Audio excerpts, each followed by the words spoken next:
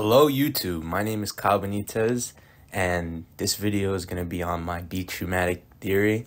So basically I'm going to tell you guys a lot about the history of the Beach-U-Matic transit. Hopefully I'll debunk some of the common misconceptions and I'll basically be sharing my theory and the information I've gathered to conclude that some of this tunnel may not have been demolished and it still could exist underneath the corner of Broadway and Warren Street. So, the corner building that we are looking at right now is 258 Broadway. This is not the same building, but it is the exact location where the Beach-U-Matic Transit used to be located. Before I go into detail about my theory and why I believe the tunnel might still exist, it's important for you guys to understand a little bit of the history of the Beach-U-Matic Transit, and you could see from my eyes why I'm so infatuated with this topic. So let's go back to the 1860s and I'll tell you a little bit about the history. This building at the corner with the five windows and the awning at the bottom, this is the current location of 258 Broadway. Back in 1869, this building was known as the Devlin's Clothing Store and the address was 260 Broadway. It was in the basement of this building that was leased out to Alfred Beach and his Fumatic Transit Company, where they would be constructing the tunnel from the corner of Warren Street to Murray Street. You may be asking, who is Alfred Ely Beach, the man behind the Fumatic Transit? Alfred Ely Beach is best known for being the creator of the first subway in New York City, the Beach-U-Matic Transit. He was also an inventor. One of his most notable inventions having to do with the Fumatic Transit was Beach's circular tunneling shield, which was an adaptation from different tunneling shields that were rectangular, which were used to build tunnels around London at the time. Most notably, Beach was the publisher and writer of the Scientific American for almost 50 years, which was a tradition that would be carried on by his sons and grandsons. Frederick Converse Beach was Alfred Beach's eldest son. He would be one of the people who would take over Alfred Beach's position at the Scientific American after he passed away. Frederick Converse Beach will come into play later when workers uncover the tunnel years after his father's death and more than 50 years after the tunnel was sealed.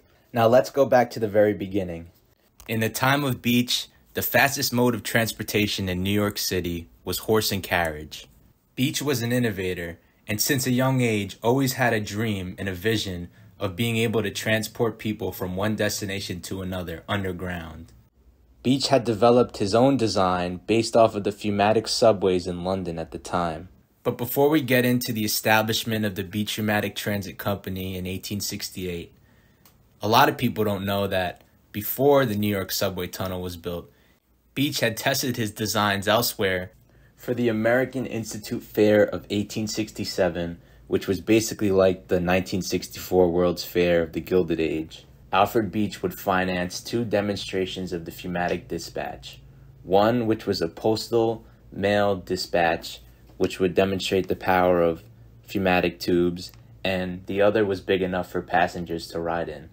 The fair ran from September 12th to October 26, 1867.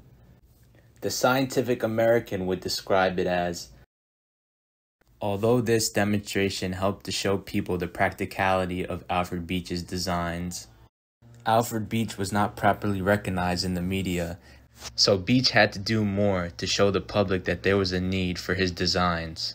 In 1868, Beach would come in contact with a man by the name of Joseph Dixon. Dixon, like Beach, was an inventor. Dixon had designed his own iron cast tunnel, which he believed could be used to build underground railways. Alfred Beach was an engineer and knew a lot about fumatic power, but he was not a tunnel builder.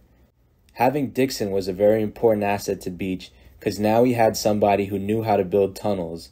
Dixon's iron cast tunnel design would be present in the Beach-U-Matic tunnel, and it will play an important role towards the end of the video, and in my Fumatic theory.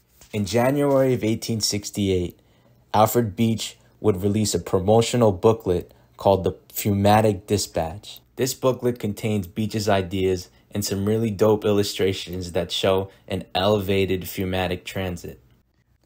On June 18, 1868, the Beach-U-Matic Transit Company would become official. Here is directly from the source, the owners and the directors. Note that Alfred Beach and Joseph Dixon are owners of the company. This company was not incorporated under the Railroad Law of 1850, so it technically wasn't a railroad company. This meant that under law, the Beach-Pneumatic Transit Company could not transport passengers because there was nothing in the law that implied that right. Beach was not the only company being founded at this time with the goals of building an underground or elevated subway to transport people from one destination to another. Another company created around this time was the New York City Central Underground Railroad, which would later become Alfred Beach's main competitor in an expansion to the subway. Almost a year after the original demonstration line, on December 1st, 1868, the Beach-Pneumatic Transit Company would take a five-year lease of the basement of the Devlin's clothing store. Now Beach had his design, his tunnel builder in Dixon, and the location at 260 Broadway. All he had to do was find a way to legally build his demonstration line. Little did people know that before Beach had permission to build his bigger tunnel at the corner of Warren Street, at the location of 260 Broadway, Beach first built a small pneumatic tube which was meant to travel mail using pneumatic power. Although the original purpose and intention of this mail tube never came to light, there is a Tribune story from January of 1870 that mentions this smaller tube in the basement of 260 Broadway.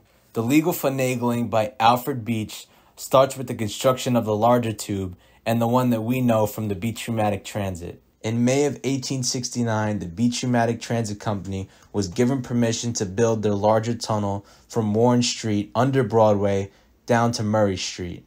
This idea that Beach would build this larger tunnel in order to fit two pneumatic tubes inside for sending mail was a false conception. Instead, Beach wanted to build this tunnel big enough to fit passengers inside, and hopefully in the future he would be able to gain a charter and public approval for a passenger railway. Shortly after the charter was granted in May of 1869, work would begin on the construction of the Beach Pneumatic Tunnel underneath Broadway. Beach would look to his old friend from the American Institute Fair that he built the demonstration line with, William Holsk, to supply the blower, and he would rely on his friend Joseph Dixon, the secretary of the company, to build a portion of the tunnel, which would be built using Dixon's cast iron tunnel design. Dixon would also supervise the building of the tunnel since he was the engineer and knew all about building tunnels. For the building of this tunnel, Beach would look back to his old invention, his tunneling shield, in order to build the Broadway tunnel. This tunneling shield was cylindrical, which was different from the rectangular designs that were used in the tunnels to build London. This tunneling shield would play a big part in the discovery of the beach Tunnel in 1912, and we'll see some pictures of this tunneling shield during the demolition later on in the video. The construction of the Beach Pneumatic Tunnel from the corner of Warren Street under Broadway to Murray Street would take around 55 days. This would make sense because it was told that the workers would work day and night. During the day, you would see Mr. Dixon and Alfred Beach supervising the workers. During the night, Alfred Beach would give the permission of supervising the workers to his 21 year old son, Frederick Converse Beach. At its completion, the tunnel was 294 feet long, the iron portion was 57 feet, and the brick was 237 feet. On the map, I highlighted the iron portion of the tunnel, which was built using Dixon's iron cast tunnel design. The unhighlighted section is the regular brickwork of the tunnel. This is how the pneumatic transit used to work. The engine in the boiler rooms would power the blower. The blower was basically like a huge fan that would blow air into the tunnel. If I could describe how this tunnel would work the best, think of a straw. When you suck on a straw, the liquid comes up, and when you blow on the straw, the liquid comes down. So basically, the transit system was a bigger version of this. The fan was basically your mouth, and the tunnel was the straw. So the fan would blow air into the tunnel, and the train would go down into the tunnel into Murray Street. Once the car reached Murray Street, it was a dead end, and the train would signal to the worker that the train was at the end of the tunnel. Knowing this, the worker would reverse the fan. Reversing of the fan would create a suction effect that would pull the car from the dead end at Murray Street back into the station at Warren Street. Shortly after this tunnel was complete, the Beach-U-Matic Transit Company would look to sparkle up the basement of 260 Broadway for public access. During the end of 1869, the company would also install the remaining technology to power the Fumatic Transit, including the blower and the engines and the boilers. I would also like to note that the best story is that this subway, the Beach-U-Matic Transit, was built in complete secrecy. I hate to say it, but this is most likely a false conception because Broadway was one of the busiest streets in New York at the time. Based off of the sources from newspapers, definitely the journalists and the people who were around the area of Broadway knew that something was going on underneath the streets and something was being built. It is important to go back and remember that the Beach-U-Matic Transit Company was not an official transit company under their original charter to build the tunnel. So through this demonstration line, Alfred Beach was hoping to gain public approval to gain a new charter in order to expand his subway from Battery Park and up to Harlem. By February of 1870, the Beach-U-Matic Transit Company had completed its preparations and was ready for public viewing. On Saturday, February 26, 1870, the Beach-U-Matic Transit Company would have its first reception where they would invite state and city officials and the press for the first public showing of the Beach-U-Matic Transit Tunnel. By Tuesday, March 1st of 1870, the Beach-U-Matic Transit Company would allow the public to ride the train from Warren Street to Murray Street and back for a small donation to charity of 25 cents. The invited guests would receive this card above. Here's an excerpt from a Tribune reporter about his visit to 260 Broadway and the Beach-U-Matic Transit Tunnel in 1870. The biggest attraction of the sub-basement at 260 Broadway and the Beach-U-Matic Transit Company include the train, which was upholstered with all the finest technology and comforts you could expect in 1870, the waiting room, which included all the amenities anyone could ever wish for in 1870, including a fountain with a fish pond and a grand piano, as well as the walls being beautifully painted in white with wooden upholstery. This room was really gorgeous, and Alfred Beach really had something going for him with the Beach-U-Matic Transit Company and the Warren Street Station. In just the first two weeks the Beach-U-Matic Transit Company was open, the company would bring home around $2,805 in ticket sales. At this time, Beach had the public approval he needed to expand his idea and build his subway like he dreamed down to Battery and up to Harlem. All Beach needed was to bring his idea to legislature and hope that they would side with him in building a new subway under New York City. Almost as soon as the Fumatic Transit Tunnel opened to the public, the company would begin its campaign to expand the railroad and build a complete underground railroad system running from Harlem down to Battery. With the help of Boss Tweed, of all people, the Beach-U-Matic Transit Bill would be proposed giving just that permission to the Beach-U-Matic Transit Company. After a long battle in court, including many other competitors trying to build a transportation method across New York City, the Beach-U-Matic Transit Bill would be rejected in favor of a more plausible mode of transportation. With his bill being rejected, this meant for Alfred Ely Beach that he had to wait another year to 1873 with the public approval slowly diminishing in order to get his dream charter to build his dream subway system. This attempt at getting a new charter would ultimately fail for Beach, but Beach still had it in him and knew his innovation could be something. So Beach would go and use one of his most important assets, his writing, and try to gain public opinion next year by changing the course of history in the whole debacle with the Beach-U-Matic Transit Bill. In 1872, Alfred Ely Beach would summarize his company's position in a booklet called the Broadway Underground Railway. In this booklet, Alfred Beach would not mention that Boss Tweed played a crucial role in helping them obtain the Beach-U-Matic Transit Bill of 1871. Instead, Alfred Beach would take advantage of the politics going on around Boss Tweed at the time. Beach would develop a false narrative. Boss Tweed was against Beach and that Boss Tweed played a crucial role in the failure of the 1871 charter. At this time, Cornelius Vanderbilt were already demonstrating that it was possible to run an underground railroad system. These promotional pamphlets and booklets did not help to spur any new interest in the Beach-U-Matic Transit Company since its grand opening in 1870. After the initial charter in 1871, the Beach-U-Matic Transit Company would apply for a new charter twice more. 1873 was the last straw for the Beach-U-Matic Transit Company. At this time, Beach had already invested $305,000 of his own money. He was not making any money from ticket sales because it all went to charity. So Beach needed to find a way to get his charter fast because he was losing public interest as time went on. They say the fourth time's the charm. Eventually, in 1873, the Beach-U-Matic Transit Bill would be passed. Sadly, it was too late for the Fumatic Transit Company at this time, as there was already companies building their own subways and transportation methods that seemed more plausible than the Beach-U-Matic Transit design of Alfred Ely Beach.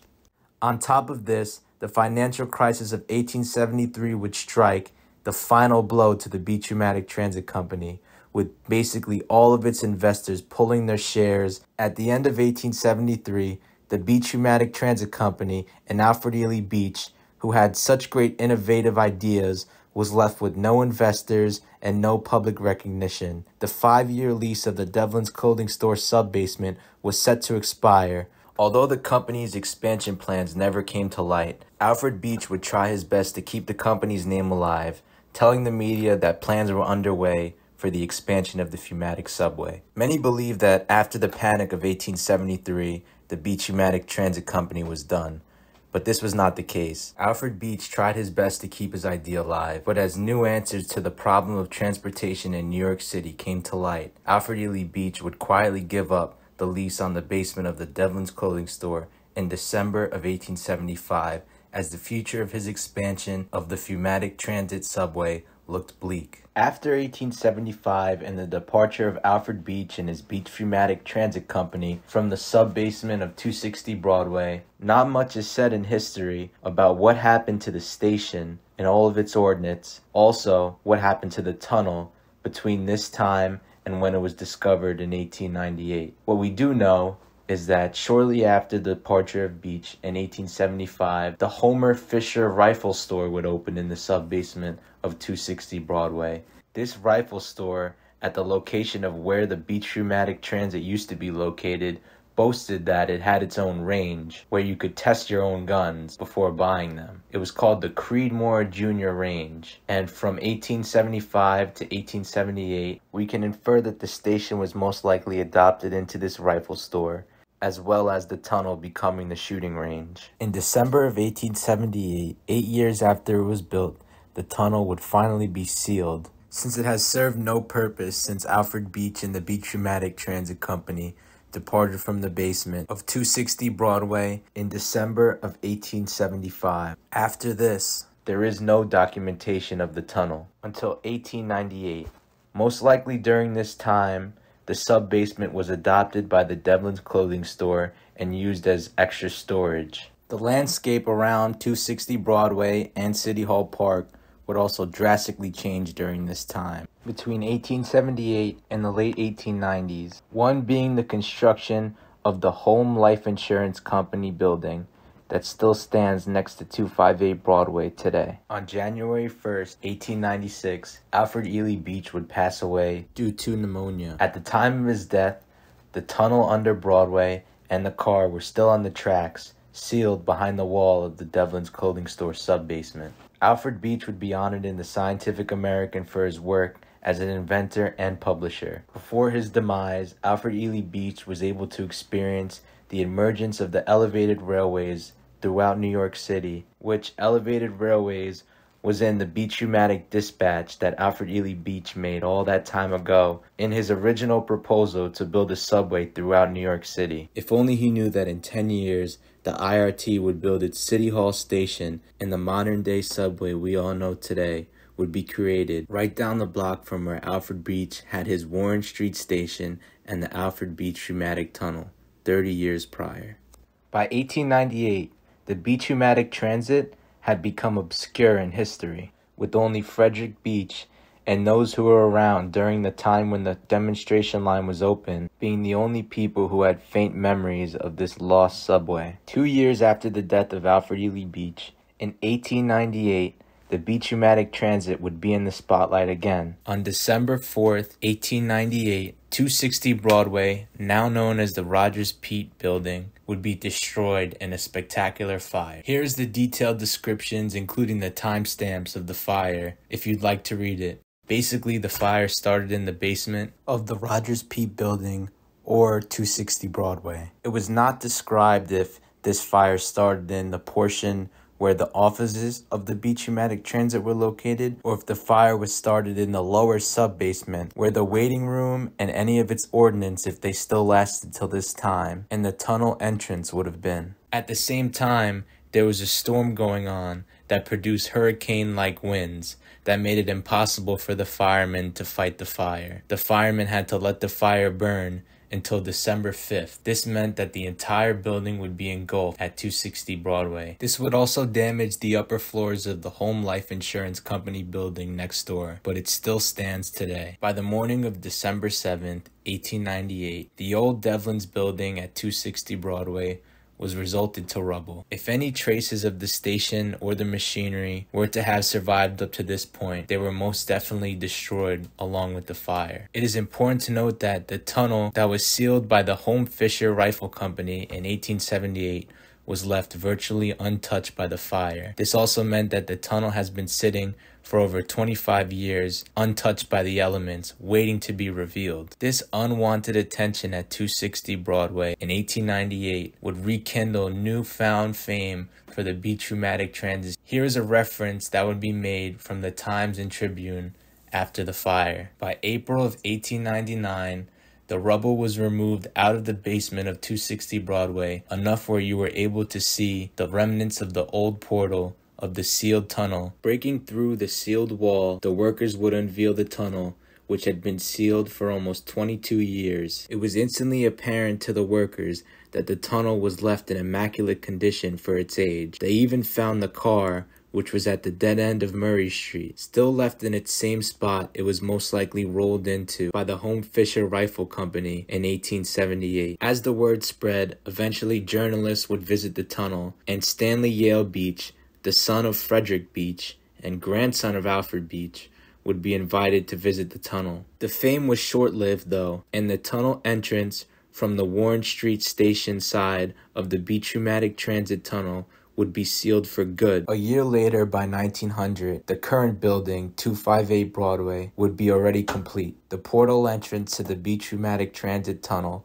was most likely incorporated to the modern-day sub-basement wall of 258 Broadway. With the station completely destroyed, the only remnants that remained of Beach's invention was the tunnel and the car that would remain sealed for another 10 or so years until it would be revealed again, but in the way of workers building the modern day subway. This rediscovery in 1899 would spark a new interest in the lore of Beach. Now among historians, Frederick Beach would play a part in keeping the lore of his father's ambition alive by pointing out to those who were unaware a rusty grate located in the City Hall Park across from Murray Street. This grate was now the only entrance to the beach tunnel now that the tunnel entrance from Warren Street was sealed for good. There will be a few references to the beach tunnel from the tunnel sealing in 1899 until around 10 years later. By early 1910, the IRT subway line and the City Hall station had already proven to be New York's prime mode of transportation, and an expansion down Broadway was in the works. The construction of the modern-day BMT line, its proposed City Hall station was underway, and the proposed path would intercept where the beach tunnel was located. This meant someone would be needed to demolish the beach tunnel to make way for the new Broadway tunnel. And that happened on January 2nd, 1912, when the Degnon Contracting Company was awarded the contract to build the Section 2 of the Broadway subway. Once this was announced and construction of the new tunnel was underway, journalists from the Times would take note that it was only a couple months until the beach tunnel would be uncovered again for its final time. No more than a few weeks after this was announced, a party of officials from Degnon Contracting and the Public Service Commission would formally enter the tunnel through the rusted grate in City Hall Park across from Murray Street. Here's a description from the New York Times describing the final expedition to the beach tunnel in 1912. After claiming the tunnel, the next day, the Degnon Contracting Company would begin the demolishing of the beach tunnel. Funnily enough, a few weeks after the company would begin demolishing the tunnel, the now owners of the Beach-U-Matic Transit Company, which involved the New York Parcel Dispatch Company, would try to sue the Degnon Contracting Company for obstruction of property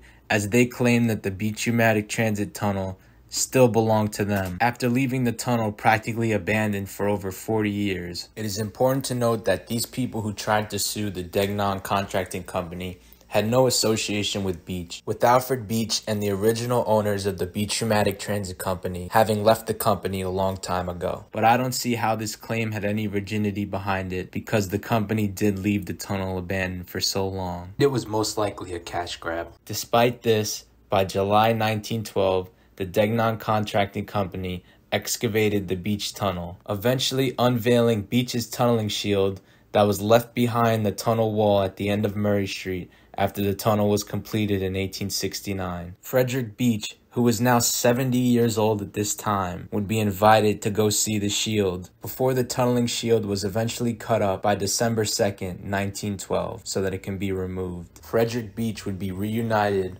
with the tunnel that he helped build way back in his 20s. But this time, instead of supervising its construction, he would be watching its demolition from the sidelines.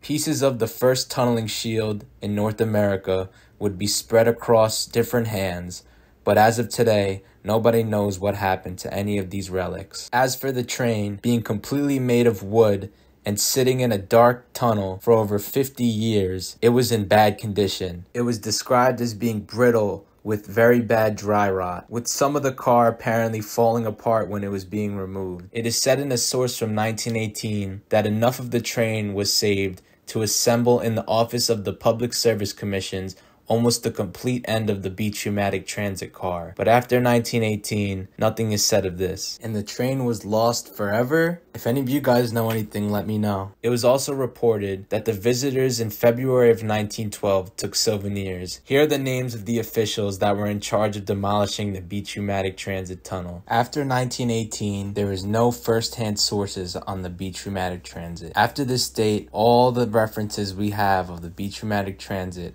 are from people like you and me who are just curious on the topic. In 1917, the BMT Broadway line would officially open almost 70 years after Alfred Beach had the idea. And with this construction of the official Broadway subway, the beach subway would be lost. With any relics from this subway lost forever or in private hands, we are told that all traces of the tunnel underneath Broadway are most likely destroyed. Emphasis on the most likely. The media during the time of the demolishing of the Beach-U-Matic Transit Tunnel tell us about what happens to physically everything in the tunnel. Stands out to me is how the media would focus on the story that sells, telling us what happened to the train car and the tunneling shield. We know based off of pictures of the tunneling shield that the brick section of the tunnel was 100% demolished. What the media fails to mention is what happened to Joseph Dixon's cast iron tunnel entrance? Surely if they were demolishing this section, it would be saved too, since it served a historical purpose, being a part of the first underground tunnel in America. The only mentioning of this iron entrance of Dixon's tunnel during the time of demolition comes from one of the Degnon contractors who refers to Dixon's iron entrance as something that would be more difficult to destroy than it was to originally build. It sounds far-fetched, but this is the only reference we have, and it could hint at the existence or preservation of Dixon's iron tunnel entrance. This is something only the Degnon contractors who built this section of the Broadway tunnel would know. So why is there nothing said about the iron entrance? There is a belief that the corner property where the tunnel entrance to the Beach-U-Matic Transit was was not within the property of City Hall and the proposed City Hall station. Could they have built around the iron entrance of Dixon? And could it still be buried behind the wall of 258 Broadway? Maybe. The only way to know for sure is to go into the sub basement at 258 Broadway. Little did I know that this visit I would learn a lot more about what happened around the area of the beach tunnel from 1912 to 1917 during the tunnel's demolition and the subsequent building of the modern day subway. I made a video where I went into the sub basement of 258 Broadway. From this video, we can determine that no remnants of the station remain, and that it was true that back in 1900 the entire sub basement was rebuilt. What struck me as odd was the weird vault under Broadway in the sub basement that looked like it served no purpose to the building other than as a storage for construction work. Little did I know that this room was the room where the Feumatic Transit used to be, and I was staring at where the portal to the corner entrance of the Feumatic Transit used to be located. Looking at this room, and now that we know the history, we can infer that between December of 1912, when the tunneling shield was removed and the beach tunnel was most likely completely demolished, and 1915, when it is estimated that the section of the BMT Broadway line between Warren Street and Murray Street was completed, the workers building this subway would break through the sub-basement wall of 258 Broadway that was built in 1900 in order to build the foundation for the new modern day subway. So we can conclude that the Dixon iron cast entrance to the Beach Pneumatic Transit Tunnel was most likely destroyed when these workers broke through the sub-basement at 258 Broadway between 1912 and somewhere around 1915. Well, this sounds plausible until you take a look at the odd construction of the corner foundation in the sub basement at 258 Broadway. As you can see, the subway foundation cuts in half. Oddly enough, this cutoff point in the foundation looks to start and end in the exact location where we know the Beach-Pneumatic Transit entrance used to be. I do not know what this box leads to. I believe that the contractors building this built the foundation in this way in order to block anybody that is curious.